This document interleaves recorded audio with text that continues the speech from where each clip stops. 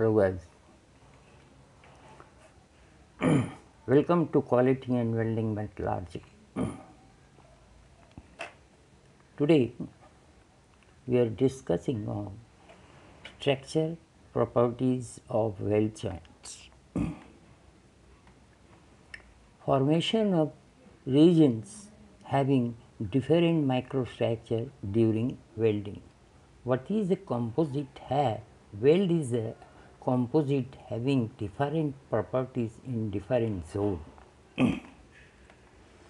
Metallurgical joint zone in typical weld as a result of non-matching filler metal and heat distribution characteristics.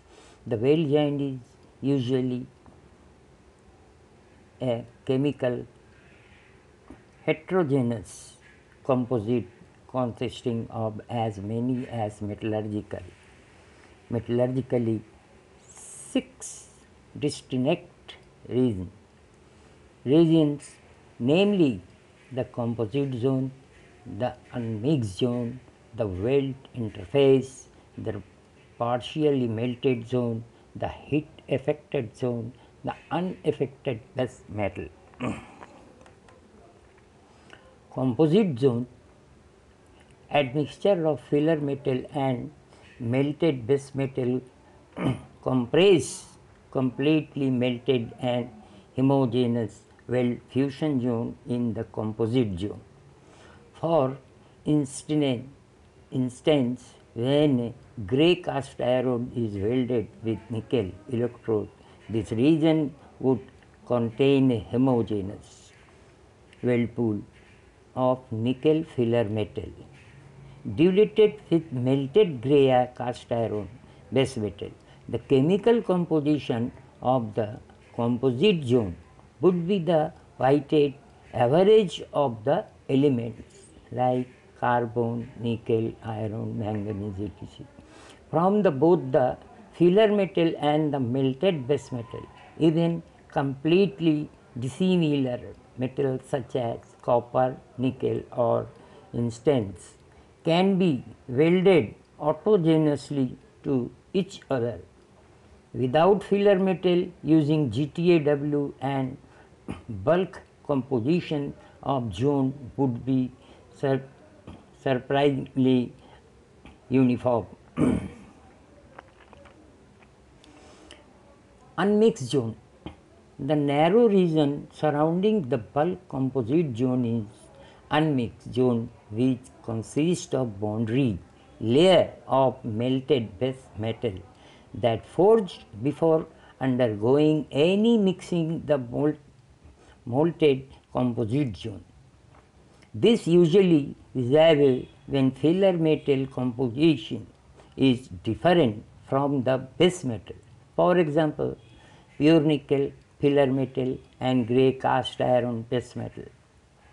Obviously, it is if the filler metal matches the composition of the base metal, the unmixed zone will not be visible since the composition and cooling condition of the base metal would match those of the filler metal. For example, welding of pure nickel base metal with nickel filler using GTAW. Weld interface, the third region, the third region defined in the weldments is weld interface clearly delineates the boundary between the unmelted unsolidified base metal, partially melted zone, partially melted zone in the base metal immediately adjacent to the weld interface. Where some location melting may occur, the part melted zone is observed. In many alloy that contain low melting inclusion and impurity or alloy segregation at grain boundaries.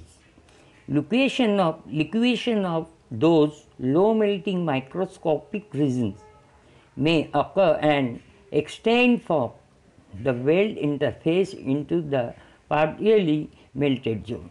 The classic example, HY-80, where liquefaction of manganese solidified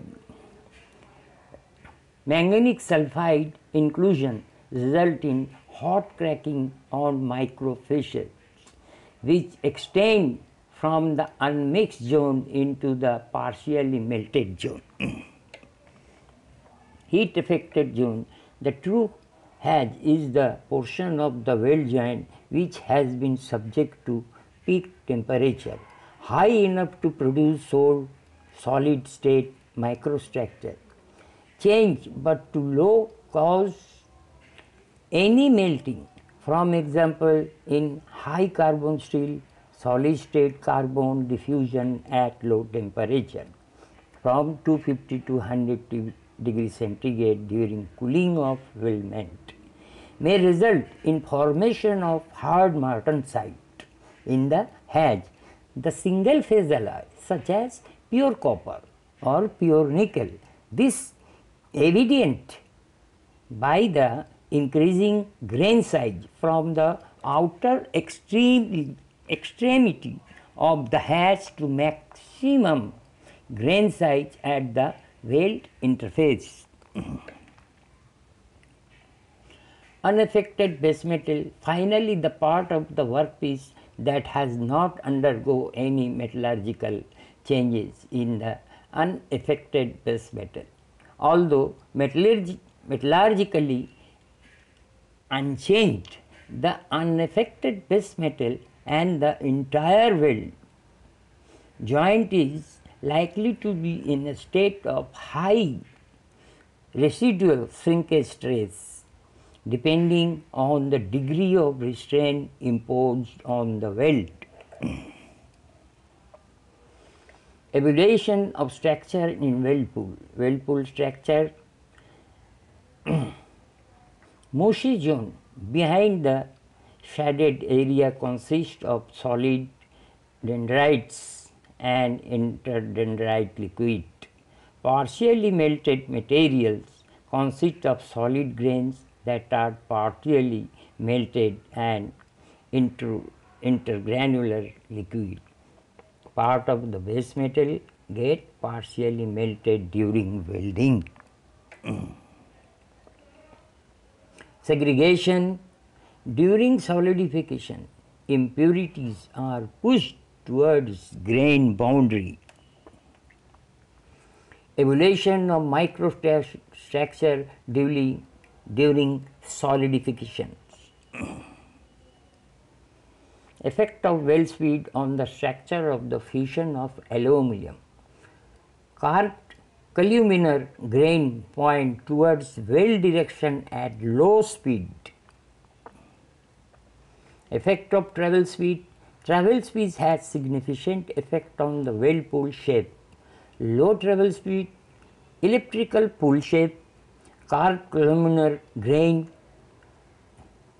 gradual change in GL and R, high travel speed, teardrop pool shape, distinct center line, R is constant along most of SL interface.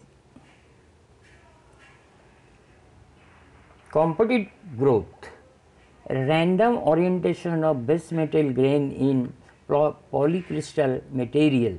Growth most favorable when easy growth direction is parallel to the flow direction.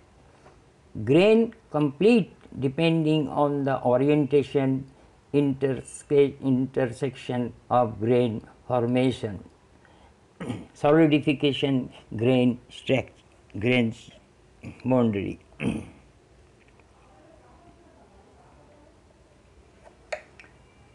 iron carbon phase diagram.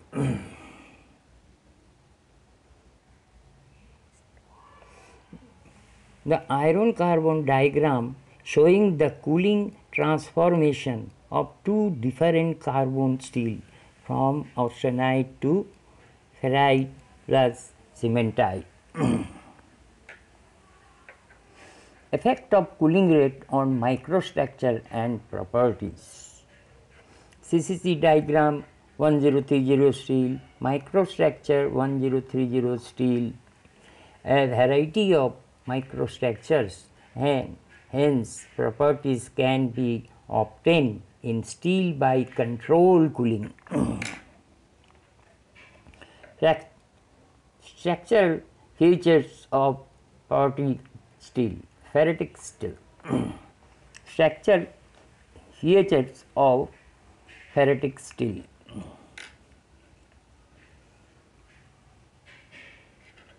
Microstructure microstructure and hardness of HAZ in steel.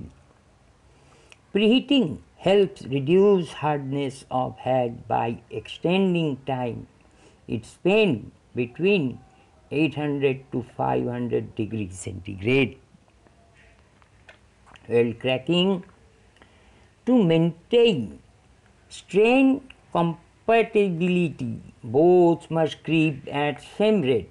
Thus, coarse grain portion HAZ to support higher stress. This is why has is more susceptibility to cracking. Thank you. To be continued.